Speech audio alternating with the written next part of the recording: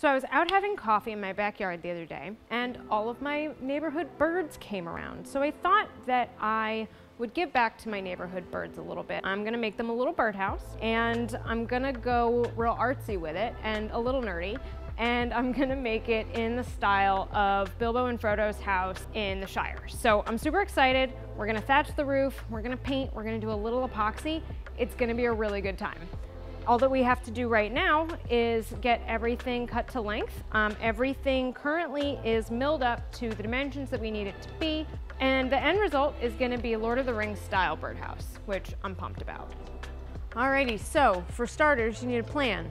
So here's my plan. So we are gonna cut one piece at 10 by 6, two at 3 by 6, two at 8 by 7, and then two at 10 by 6. Um, then we'll drill a hole using a Forstner bit to create the little bird hole. And then we're gonna do some epoxy work to make these windows look like windows. We'll use a little black epoxy. We'll use um, some paint around the front of the house to make it look a little bit more natural, a little more woodsy. And we'll leave a little bit of the red poking out to look like brick.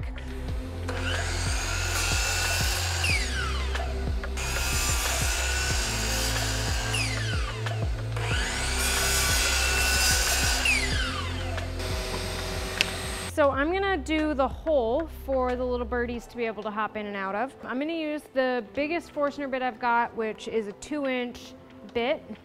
It's this guy. Um, and I'm gonna clamp this to the table. I'm putting pieces of scrap wood behind it because as you drill through with a Forstner bit, it needs something to bite into in order to be able to actually pull through the material. And as much as I love drilling into my bench top, I don't wanna.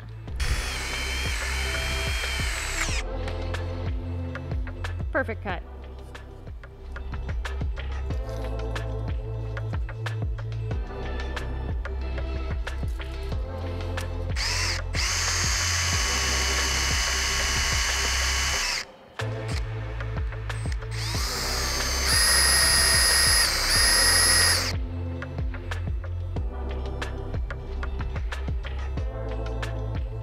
Right now I am translating my design onto piece of wood and that will make it much, much easier for me to do the detail work to come.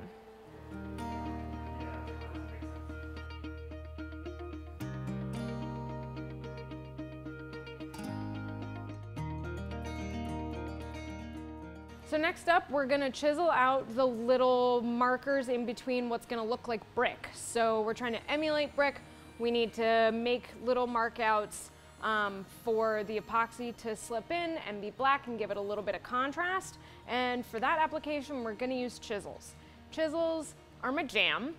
You have an abundant amount of options on what kind of chisel you can use, but there's different chisels for different applications. The butt chisel is for shorter applications. As you can see, it's a lot shorter in length.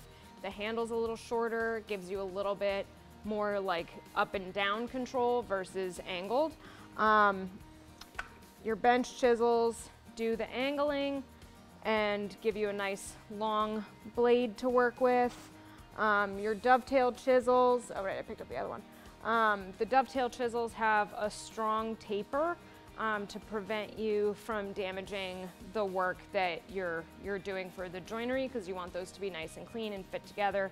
It also has a comfortable long thin handle um, that allows you to kind of angle it more and get a little bit deeper and have a little finger hole here.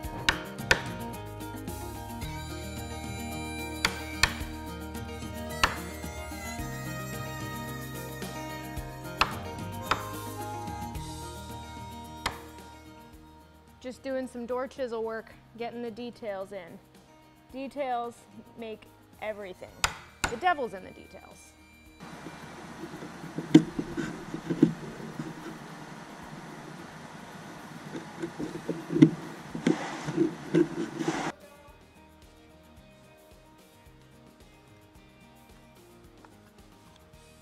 Next up, we're gonna mix some epoxy. So epoxy always comes in two parts. Um, there's your resin portion and the hardener. You wanna make sure that whatever um, ratio your epoxy of choice calls for, that you do it 100% accurately. Um, my favorite thing about TotalBoat is that they're a little bit more forgiving than most other epoxies. You have like a two or 3% variation and it's still usable. Um, so you'll do, for this one, it's a two to one ratio. I already have the pumps set up, so the pumps are pre-measured, so it's still one pump each, but it's two to one, which is why one of the bottles is so much bigger than the other bottle. Lily is making quite a noise in the background, I'm so sorry. We're also gonna add some pigment powder, uh, and that's gonna tint it so that you have a little bit of depth and it's gonna basically look like the windows are, are blacked out.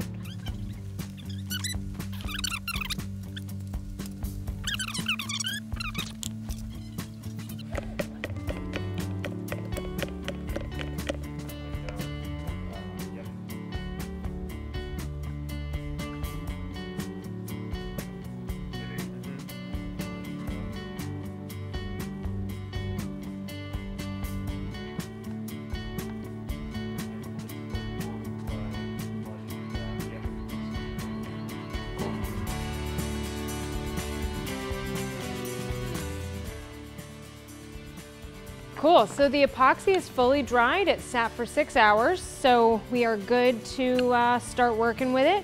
I'm gonna sand it a little bit so that we can just knock these high points down and then we're gonna put everything together and it'll be a nice functional birdhouse. And then we're gonna attach the thatched roof, which is gonna be made out of this mossy business.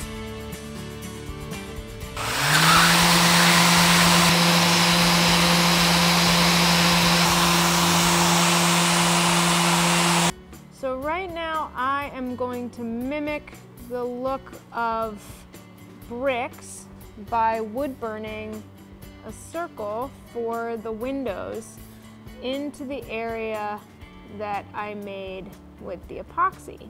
I always do a little dry fit just to make sure that all your measurements are right, that everything lines up where it needs to. I'm gonna put the roof on and we're gonna start by using a little bit of Titebond Instant Glue um, and that's gonna allow us to kind of get these in place and then we'll secure it more readily with some little nails and that will allow us to kind of flip it around and do what we need to do without it, you know, being cumbersome to put together. Uh, and then we're gonna put the moss on the thatched roof. So yeah, here we go. All right, we're getting the home ready for Birdbo Baggins here. If any birds actually nest in this thing, I am 100% naming a baby bird Baggins. That is happening.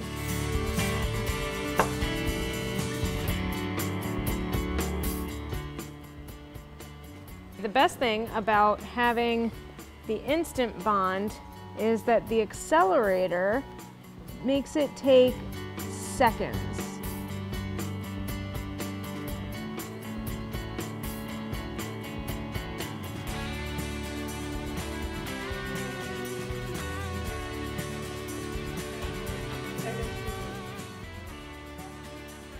Piece. This is adorable. Yay! it's so cute. Okay, I gotta tack everything in now.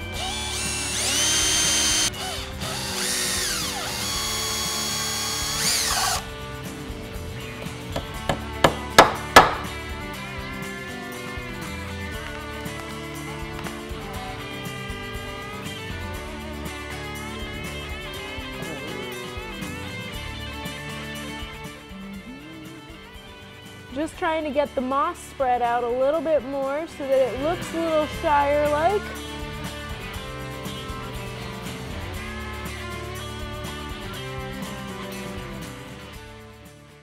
My Lord of the Rings birdhouse is all done. It is ready for the birdies to move in. I'm super stoked. I hope they'll like it. It looks like it belongs in the Shire, so with any luck, it'll fit in well in my own backyard. Um, so we'll see, but man, I am just digging how this all turned out.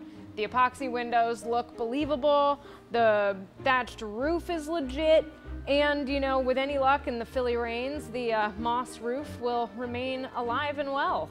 Um, you know, because water is always good for that. So yeah, I am super here for how this turned out. I hope you guys like it.